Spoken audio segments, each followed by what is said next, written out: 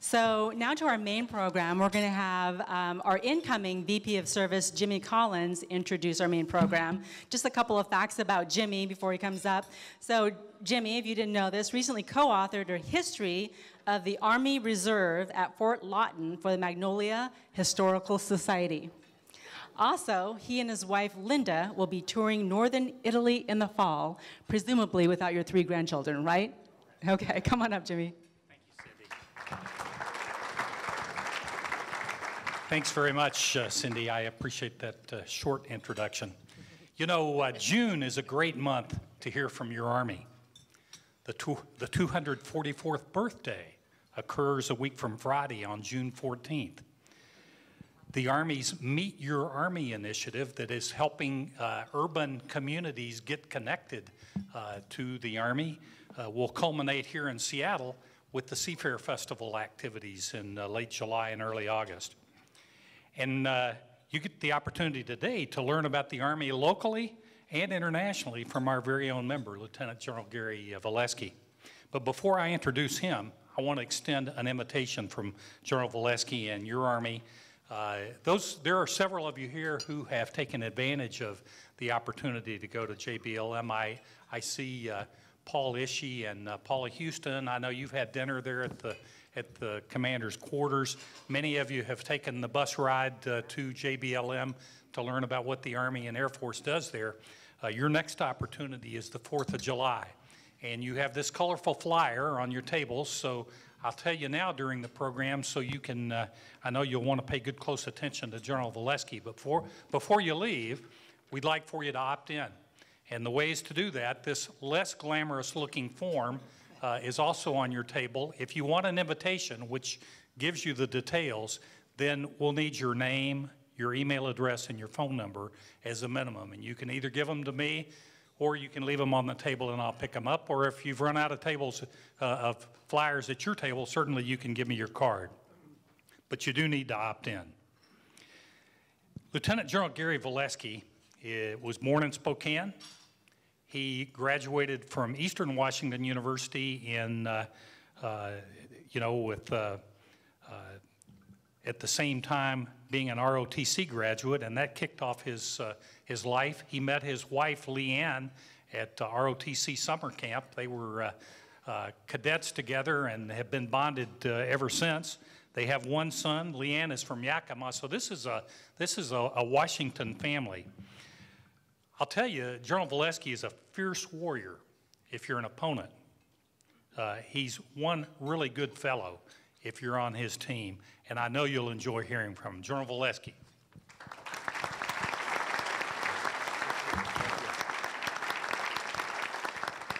Well, good afternoon, and thank you for inviting me to be able to share a little bit of time and tell you about your great soldiers that live and work at JBLM when they're not deployed defending our freedom.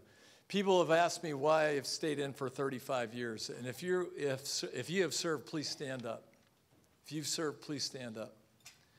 They are the reason that I stay in the Army.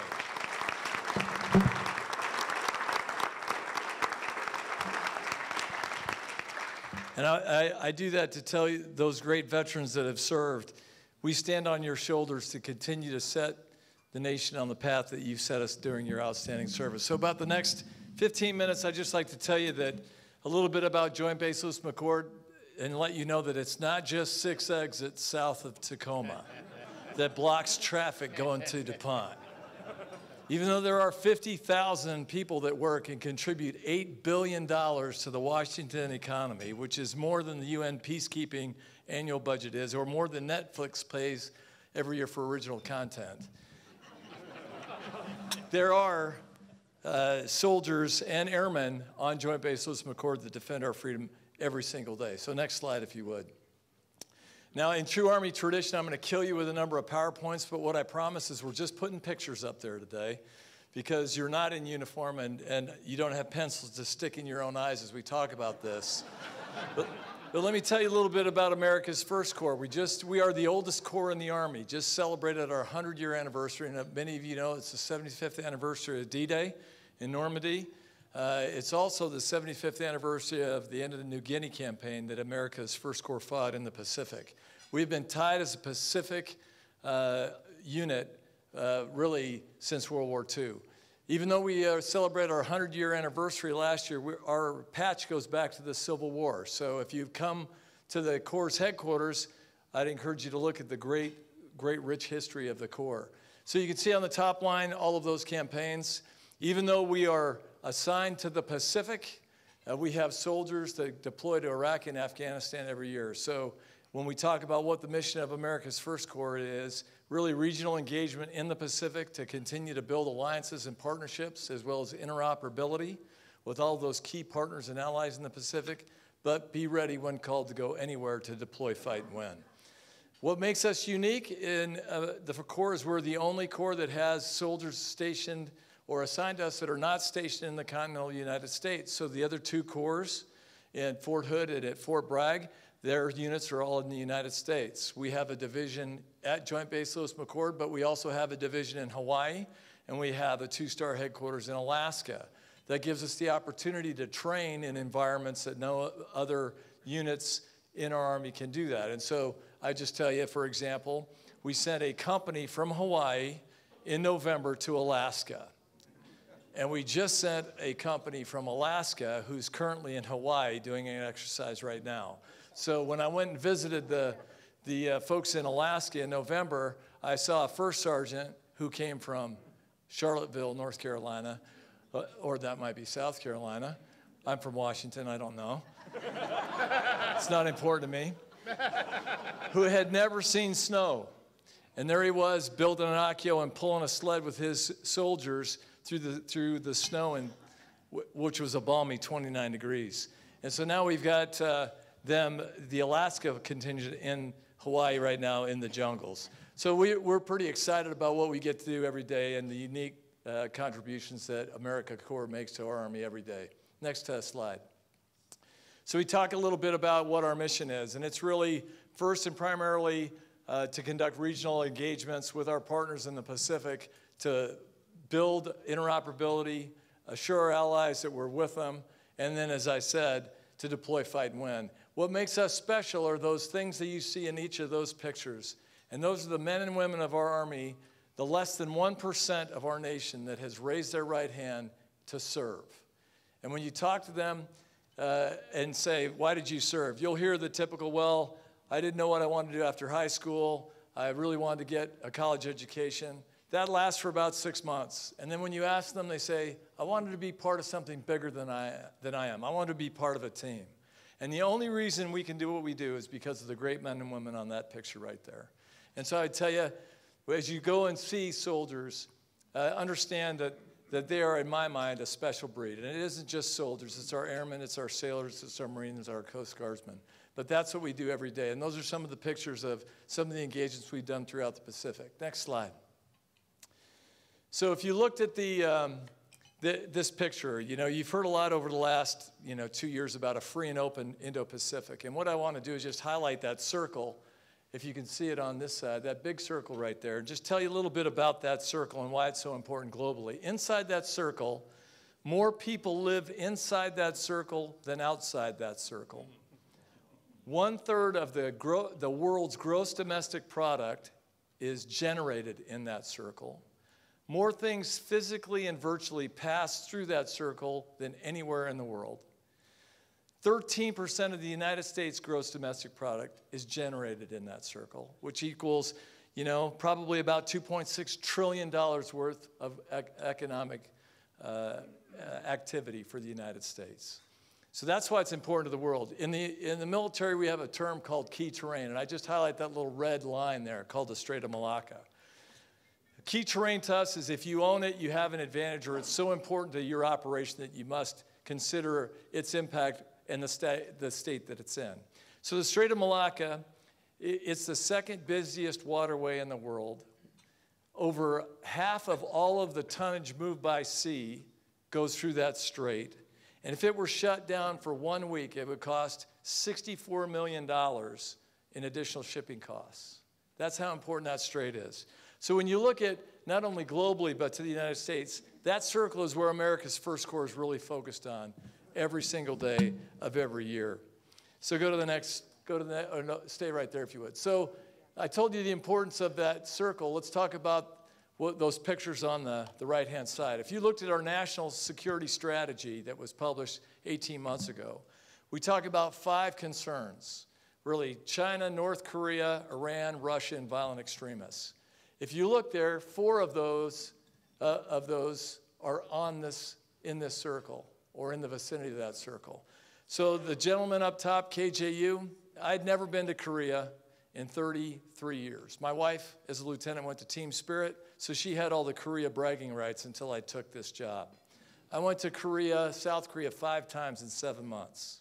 If you'd asked me 18 months ago, I thought I'd have been fighting on the peninsula because of the nuclear concerns we had. Clearly, the, the dynamic on the peninsula has changed. But if people ask me well, what keeps me awake at night, it is what's going on on the Korean peninsula. Uh, that lower picture, the picture next to it, the presidents of uh, China and Russia, they're meeting again this week. Uh, China is the long, the long-term concern based on uh, their militarization of the South China Sea, some of their predatory economic uh, uh, practices, as well as their, their you know, stealing pro- property or intellectual property and secrets of technology on cyber domain. Russia you see, there are only 12 miles of border on the Pacific, but they're acting as a spoiler for the United States and everything we do. So if there's a gap, we expect Russia is going to try to fill that. That next slide violent extremist organizations. If you look at uh, you know, Iraq and Afghanistan, where I've been a time or two, we talk about violent extremist organizations and the impact they've had. People forget that in this region, a thousand, at least a thousand of those soldiers are coming back into that, into that circle. So, what does violent extremism mean in that region? Well, we saw what happened in Marawi, we saw what happened on Easter Sunday in Sri Lanka. Those are concerns for us in, as we conduct operations in the Pacific. And then as you look at that final slide there, you know, we're always concerned about natural disasters. 75% of the volcanoes and 90% of the earthquakes happen in that circle. And the UN has estimated that by the year you know, 2030, it's going to cost $160 billion a year in reconstruction because of natural disasters. So I saw that uh, your president has a theme that's called, I think it's action and impact on that slide. So, what actions is America's First Corps taking and what impact are we having? So, if you go to the next slide, and we talk about Pacific Pathways, that is the operation that we do every year where we're putting thousands of soldiers in that circle primarily with these 11 countries, to really build those alliances and partnerships. So, as I talked to you about those organizations in Hawaii, Alaska, and, and uh, JBLM, we're going to put soldiers in the Pacific for 10 months every year. We, could, we do traditional exercises with those 11 countries, but not just them. All countries that we want to build partnerships with, like Palau, who we've had a defense uh, agreement with for a number of years, for decades, to really show them that we're committed. You know, I had a a boss of mine that used to talk about virtual presence, you know, doing VTCs. He said, virtual presence is no presence. And that's what, frankly, we've been doing the last five or 10 years. We've been really busy in the Middle East. We want to get busy in the Pacific. And so you're going to see over the next two or three years, America's First Corps soldiers are going to be deployed in the Pacific for a, a lot longer than we ever have been. And so we're pretty excited about that. Uh, I would tell you that uh, of those 11 exercises, you can see the partners that we do. This isn't just a brigade level of three or 4,000. This is the Corps, my headquarters. All the divisions and all the units inside those are going to be involved in exercises there. And so uh, I would just, I just highlight that to show you that as you hear about the shift to the Pacific, while you still may hear a lot about Iraq and Afghanistan, know that those soldiers up at JBLM, that's their focus. Next slide. So, of course, I came up here and, and, and uh, had a great lunch, and a number of you have said, Well, what, what can we do for you? And you heard uh, Jimmy Collins talk a little bit about you know, Freedom Fest and soldiers. You see some of our Seattle recruiting battalion members here today. The Army has identified Seattle as one of the top 22 cities that we want to recruit in this year. And so we have a program that we call Soldier for Life. And some of you have heard this before, and it's really been focused this is about the life cycle of a soldier. So the day that Gary Volesky raised his hand and joined our army, until the day they put me in the ground at Arlington, I'm a soldier. Doesn't matter if I'm wearing a uniform or I've retired, because I will retire, unfortunately, one day. but we're a soldier for life. And so we focused a lot on transitioning soldiers, frankly, because we had a lot of our budget that was going to pay for unemployment benefits, and we didn't do a good job transitioning our servicemen and women. We've done a lot better with a lot of help from your communities. 48% of those that retire from Joint Base Lewis McChord stay in the Seattle area and work for you.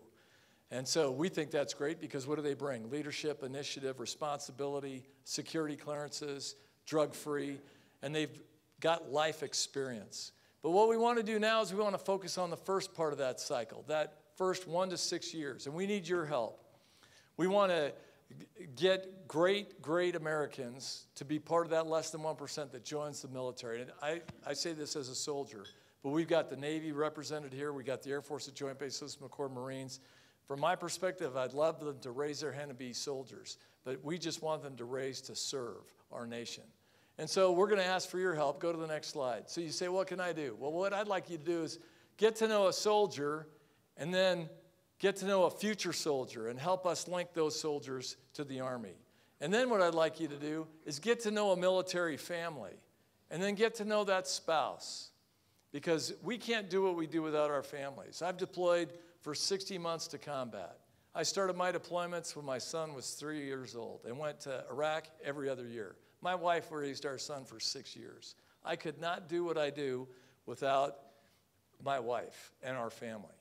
And so it's not just we say we, we, we enlist soldiers, we re enlist families. That's what I could use your help for. So if you have any questions on how to get connected, those QR codes, we'll leave those with you with those uh, emails or those links, and we'd be happy to ask for your help and answer any questions you have. So I'm ready to answer whatever questions you have, and thank you for allowing me again to speak to you today.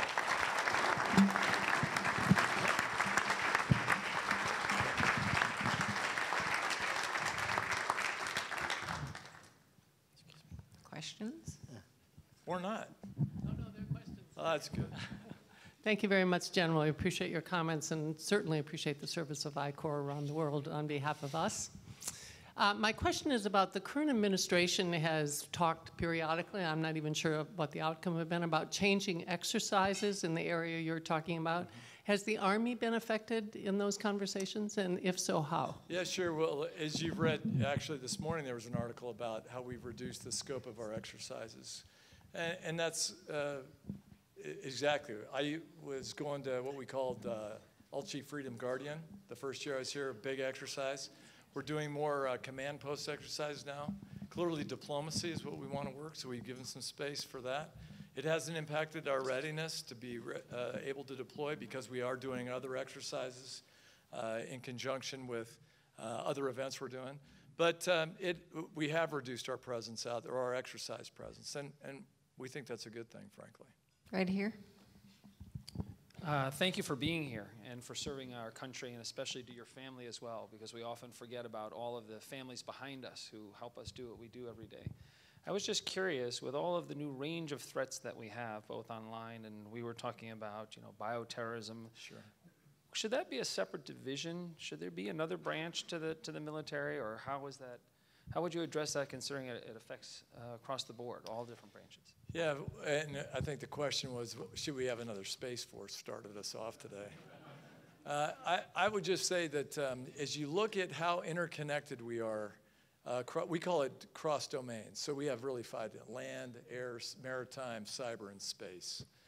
The core for our Army is leading an initiative to define how we're going to conduct multi domain operations. So, what I would say is, you know, as an Army, guys, uh, Army guy, they say, okay, you're a land component, and the Navy is the maritime, and the Air Force is the air. What we have found over the last five years is we won't win that way. We have to integrate all those domains.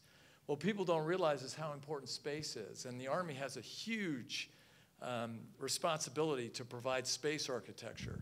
So, what service needs to run it? Do we need another one? I'll let the guys that make those decisions do that. But what I can tell you is, in the future, with these threats that you're talking about, we have to be much more effective in the cyber domain and the merit and the uh, space domain. And we just con- concluded an exercise called the Joint Warfighting Assessment at JBLM a month ago, where we brought all of these critical subject uh, matter experts in, and we we talked about how are you going to fight a future conflict with a near peer that's got the same technology we do.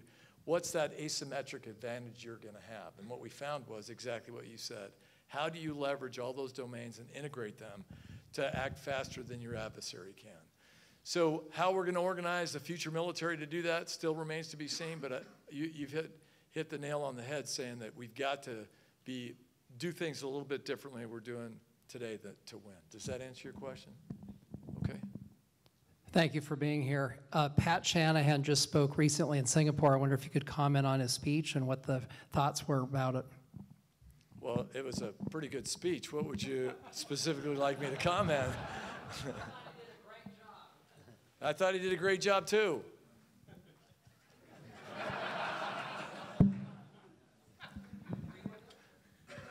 He's a Secretary of Defense. Of course, I agree with him.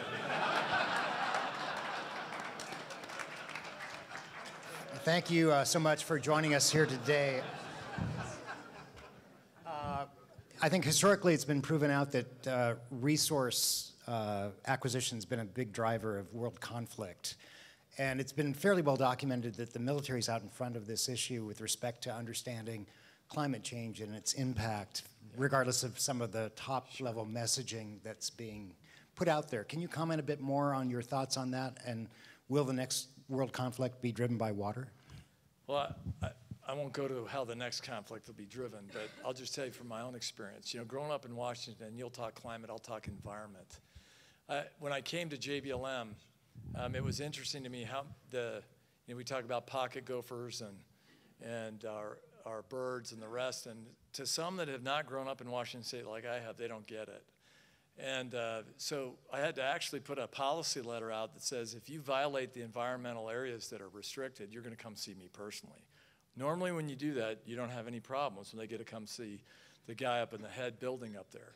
Uh, but it's a different, you know, we have, you know, when I came in the Army in 1984, we weren't talking climate. And so we've had to be able to be agile and adjust to some of these conditions. And when you go to Alaska, like I got to do, or you go to Hawaii and you get the opportunity to see different environments and, and the environmental factors and the climate factors, what we have to do is make sure that we're taking those into consideration for everything we do, for combat operations, for humanitarian operations. I had the opportunity to lead DoD's effort for the Ebola crisis in Liberia a few years ago. And so you want to talk about a guy that had no idea about Ebola and then 90 days later, I'm standing in Liberia talking to the president of Liberia and everyone else. It's just an example of it, it whether it's climate change, whether it's uh, uh, disease, an epidemic, or whatever, your military is agile enough to, to adapt to be able to operate that in there and become and be sensitive enough to the considerations that have to be taken into account when you're operating in that environment. And we have to do that because when we operate outside the United States, those same considerations for our critical partners and allies are just as important to them. Uh, you know, when I went to Iraq, we did a lot of training in Afghanistan on dignity and respect and, and learning their culture. And what I found out uh, during my deployments was, you know, regardless of your culture and the nuances of it, people just want to be treated with dignity and respect. Kind of the golden rule, right? So if, if we just take that piece and we apply that in our operations, we will be extremely successful and build those teams. We're never going to fight alone. We're not going to have that capability or ability to. So we have to make sure that we are tied in tightly with our allies and partners. And what you address is part of those key considerations we got to think about every day. Does that make sense?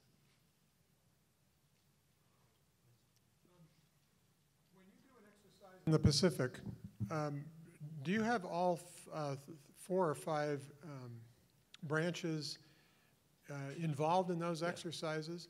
And the second part of my question is, at any given moment, how many of the troops that you have uh, that are based at J JBLM are here and how many of them are okay. overseas? Yeah, so the answer to your question is yes, but it's based on the type of the exercise. So for example, Joint Warfighting Assessment, we had Navy representation, Air Force representation. I've got a Navy and an Air Force rep on my staff. Um, some of those exercises are much bigger, like we, we had a RIMPAC exercise a year ago where it was led by the Navy and we plugged in. We haven't done that as well in the, uh, in the past as we currently are. We got a long way to go.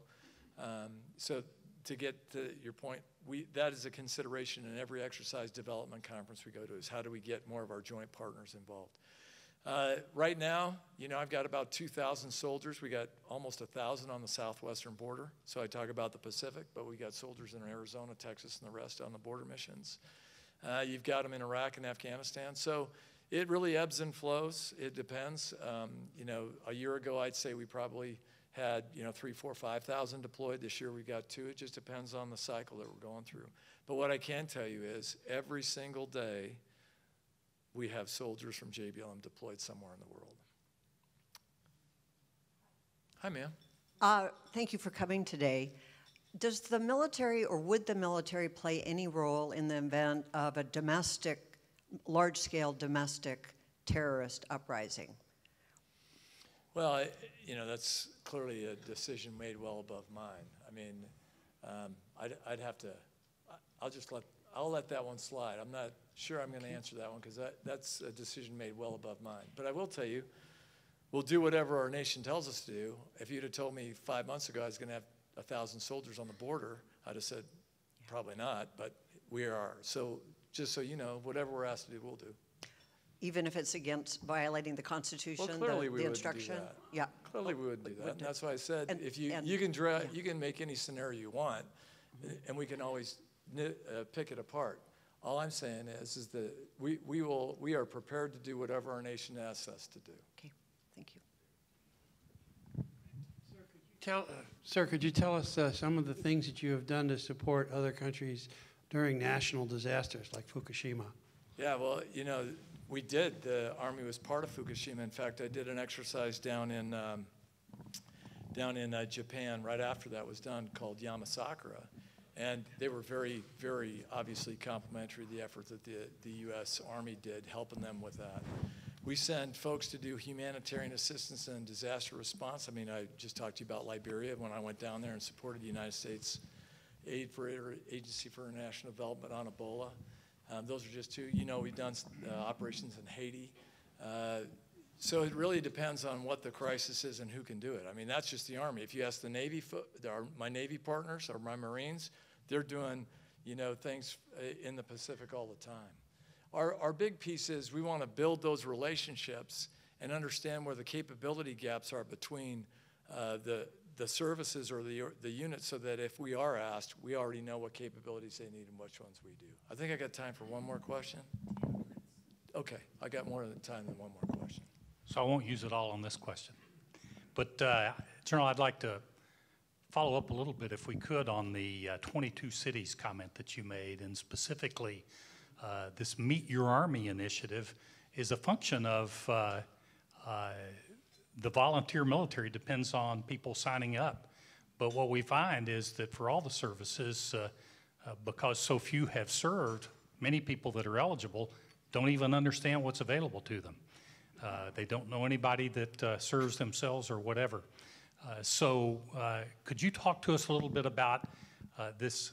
What I, I characterize it as an unintended consequence of the all volunteer force, and that is because so few have served, a lot of young people don't know about it. And the premise, of course, is if you know about us, just sort of like Rotarians that know you as a fellow member, you'll find out we're a lot like you, and there are some things there worth considering. Thanks. Yeah, so um, when you look, the reason Seattle is one of the top 22 cities, and those 22 cities are cities that were identified by the Army where we don't have a very large uh, recruiting population that comes in. Frankly, most of them come from the South. A lot of our, our recruits come from the South, which is traditionally a, a place where we've had good recruiting uh, efforts. And so what the Army has done is said, look, you know, how do we get the exposure to the Army farther out uh, into areas that we're not um, currently, uh, you know, have a good presence in. And that's what Jimmy's talked about, these 22 cities. Uh, and you know what I tell people, they say, well, why should we go out and, and have someone join? My son was going to, you know, I think my son, right, he's going to join ROTC. He said, I don't want to be in the Army. It's like, okay, do what you want to do. But if you do want to be in the Army, here's what we offer to you. And it, it gets back to these things that we talk about. You know, uh, you want to get a guy that's tied to a profession, whether it's the Army, the Navy, Air Force, Marines, or Coast Guard. We are a profession. We're not a, you know, we're not a club, a business. We're a profession, and that's how we treat it. And so we want to give.